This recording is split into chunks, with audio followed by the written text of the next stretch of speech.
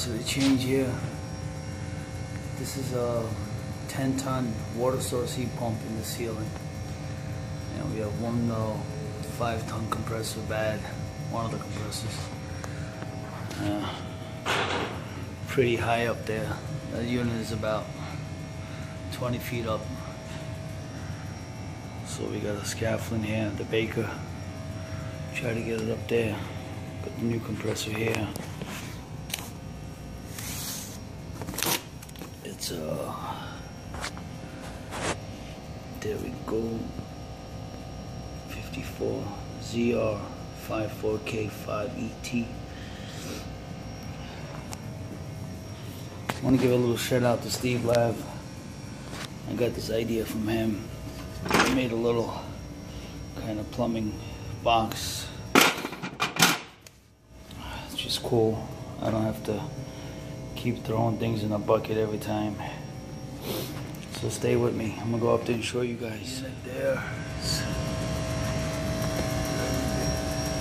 see if I can get up there.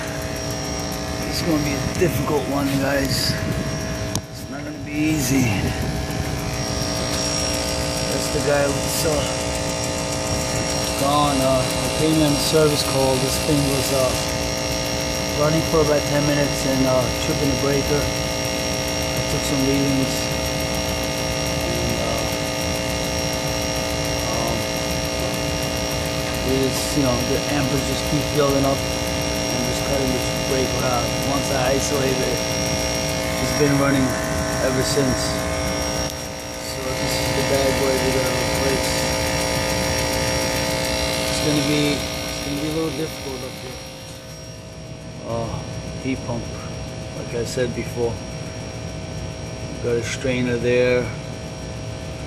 PT gauges. And I'm pretty high up. Fellas. Guys, this uh, circuit was already recovered previously. Um, that's why you guys don't see a recovery machine here. So it's a, it's empty. There's no uh, no refrigerant in the line. So I just gotta get this guy out, unsweat it out, and unsweat this. It's just a and then figure out how I'm gonna bring this sucker down. What's in my way is this grid right here. If this thing wasn't here, it'd be a lot easier. But you know, we have to do what we have to do. We gotta manage to work around it. I'm gonna try to see if I can. So guys, I got you guys as close as possible. I kind of zip tied my phone to get this going. So give you a little light. Yeah, Martin, I zip tied my phone, kid. They need a little light. Okay. Sorry, people. Sorry, sorry, sorry. All right, there we go. There goes nothing. Yo, fire on off. Okay,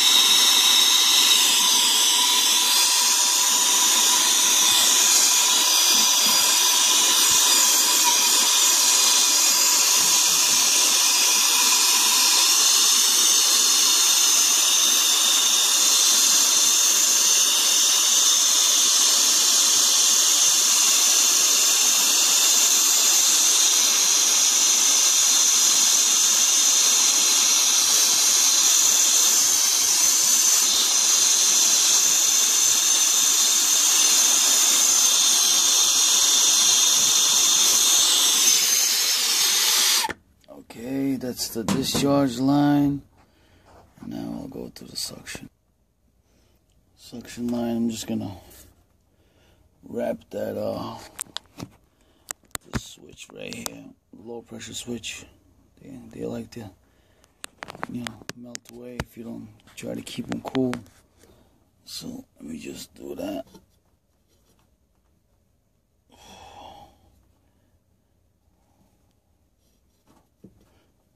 Alright. So that's gonna stay cool. I mean, even if they melt away, I can always put a new one on. No big deal. Shit happens, right?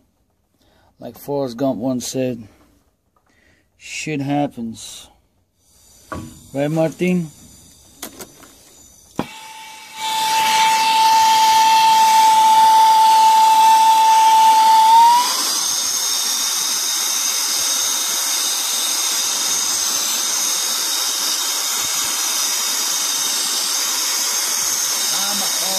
that the life is like a love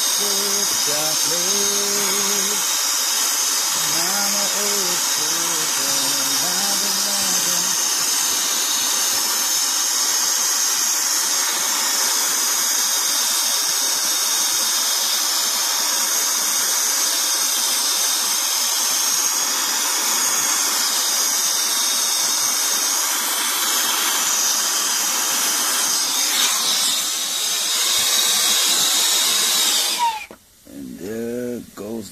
wow.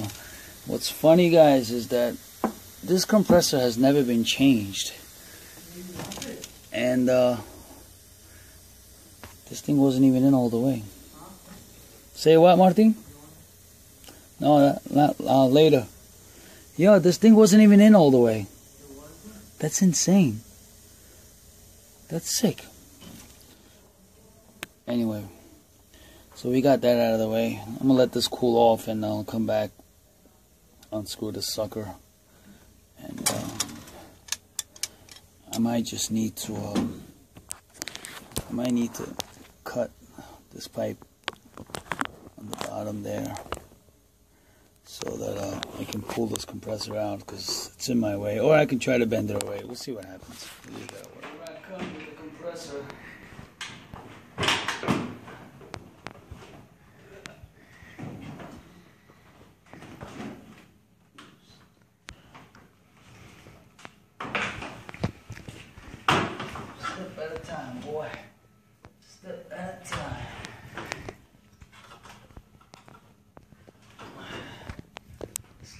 Is on my way.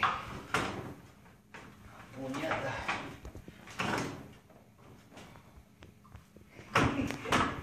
Yo, this grid come down. Ah.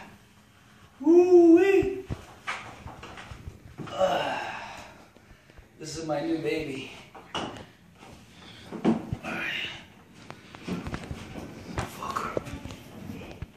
It's not even that heavy, just awkward holding this. Yeah, it is. Alright, cool. So this sucker's down.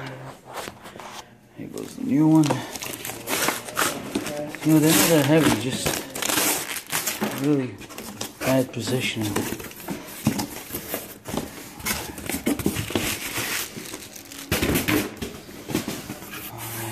Remember they used to give you the little fittings before.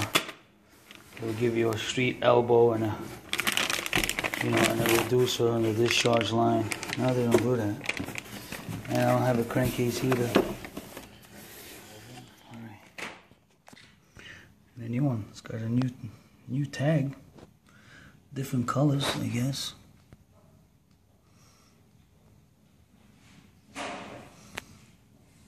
Same exact compressor. Model numbers.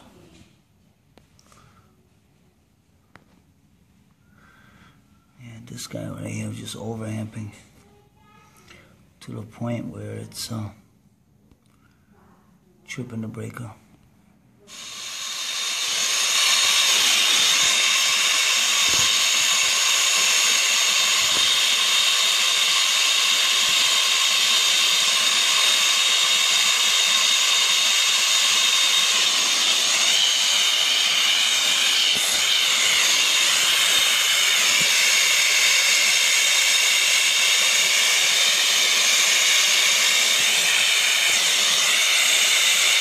Just going to close it up the fence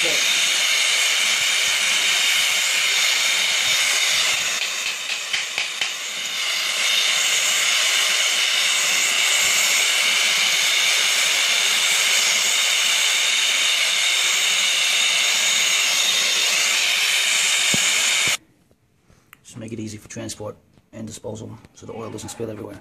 Alright guys, so I was able to put this guy in. It wasn't too difficult. I've done many of these, you know.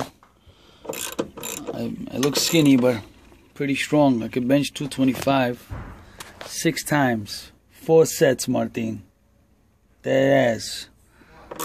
I said I could still bench 225 six times, four sets. I, I'm just saying.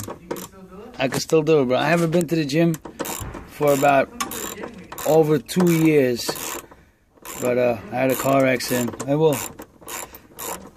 I broke my elbow, so stopped going. Lost a lot of weight. But uh, I got to get back in shape. I will, little by little. My elbow's still. What's gonna probably stop me from lifting 225 probably be my elbow. I would have to build my elbow, my tricep. What makes the elbow work is your tri muscle. So I gotta get that get that going before I can start benching. So let me get this guy going. I'm gonna put this guy back in there. Put this guy back in here. Braze it. Maybe I'll use a piece of chewing gum instead of brazing it. Let me know what's the best chewing gum. Trident. Whatever.